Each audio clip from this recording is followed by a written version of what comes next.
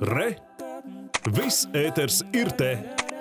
Augstdaugavas novada dome šodien ārkārtas sēdē nolēmusi lūgt ministra kabineta izsludināt novadā ārkārtējo situāciju dūņu noplūdes dēļ, tā radot būtisku apdraudējumu cilvēku veselībai, videi un saimnieciskai darbībai. Plašāk par to Girds Virbuls.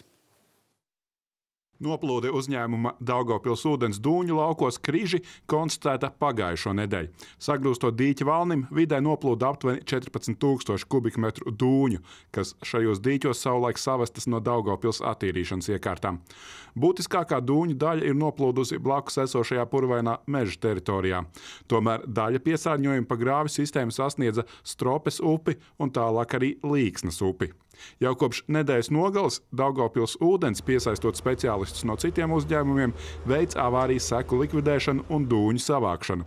Piesārņotajā teritorijā dzīvo 39 cilvēki, atrodas vairākas maisaimniecības, dārzkopības kooperatīvas un mini-zoodārs, kas palikuši bez ierastajiem dzeramā ūdens avotiem.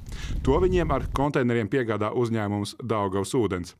Taču pašvaldība rēķinās, ka ar avārijas sekām būs jācīnās ilgstoši.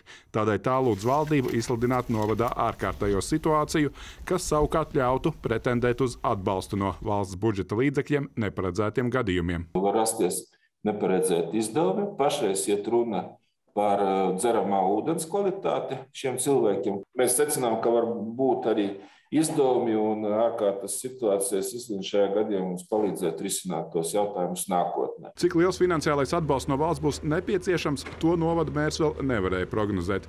Vaiņas sagrūšanas iemesli arī nav zināmi. Daugopils ūdens pārstāvi pieļauj, pie vainas varētu būt āpši, kas dambi ierīkojuši alas. Taču tiks pārbaudīta arī iespējama nolaidība no paša uzņēmuma puses. Valsts vides dienests izvērtēs, vai Sijā Daugavpils ūdens pirms avārijas veica piesardzības pasākumus, piemēram, regulāru uzraudzību, lai novērtētu situāciju šajā objektā. Vides dienests arī vērš uzmanību, ka šī avārija un tās rezultātā radītais vidas piesārņojums vērtējams kā lokāla līmeņa, gan no skartās teritorijas, gan piesārņojuma ietekmes uz vidi aspekta. Girts Zvirbulis, Latvijas televīzija.